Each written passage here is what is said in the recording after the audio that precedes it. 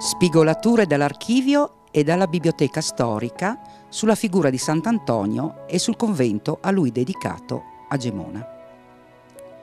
La presenza nell'archivio comunale di Gemona di numerosi documenti relativi a Sant'Antonio ha a che fare con la soppressione, decretata dal Senato Veneto il 1 giugno 1769, del convento francescano a causa dell'insufficienza delle sue rendite. Sicché Già il 22 agosto di quell'anno i religiosi vennero caricati coi loro bagagli su 58 carri e ripararono a Feltre. Nel luglio 1770 l'arciprete Giuseppe Bini assunse la tutela religiosa della chiesa, eretta succursale della parrocchia, e ne perpetuò il culto con sacerdoti secolari. L'edificio conventuale, battuto all'asta, venne acquistato nel 1772 dal comune di Gemona per 800 ducati e i suoi beni mobili vennero acquisiti da tal Gaspero Saverio Seiler. Una parte della documentazione relativa ai beni del convento fu spedita a Venezia. Quella trattenuta a Gemona accrebbe un corpo documentale preesistente, nel quale spiccano i due volumi di oltre 200 pergamene, raccolte incollate su pagine di carta probabilmente a cura dello stesso Bini e che datano dal 1288 al 1572.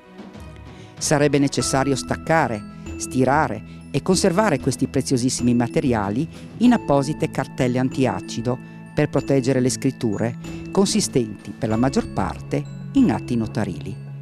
In alcuni casi si sono conservati anche sigilli in cera lacca o pendenti come quello del doge Mocenigo. La successiva documentazione, su supporto cartaceo, ci porta fino al 1769. La parte libraria antica, storica e moderna conserva il frutto del culto e degli studi su Sant'Antonio a Gemona. Tra gli altri troviamo un libro stampato a Padova nel 1655 con vignette xilografiche sui miracoli del santo,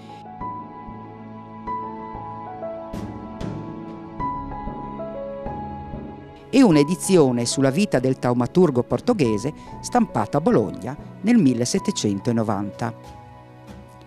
Di speciale interesse storico i documenti sulle celebrazioni tra il 21 e il 23 giugno del 1895, nel settimo centenario della nascita di Sant'Antonio, in preparazione delle quali a Gemona si organizzarono lungo tutto il mese iniziative pubbliche anche di carattere non strettamente religioso.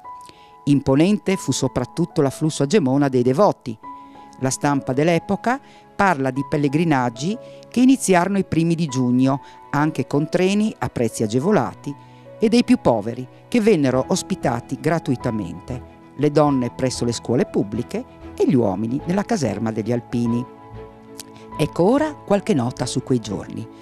L'alba desideratissima del giorno 21 finalmente spuntava e le feste si aprirono alle ore quattro e mezza del mattino con le allegre notte della banda del Circolo di San Giuseppe che percorreva suonando le vie principali della città. Eh, immaginatevi ora le denunce per disturbo della quiete pubblica.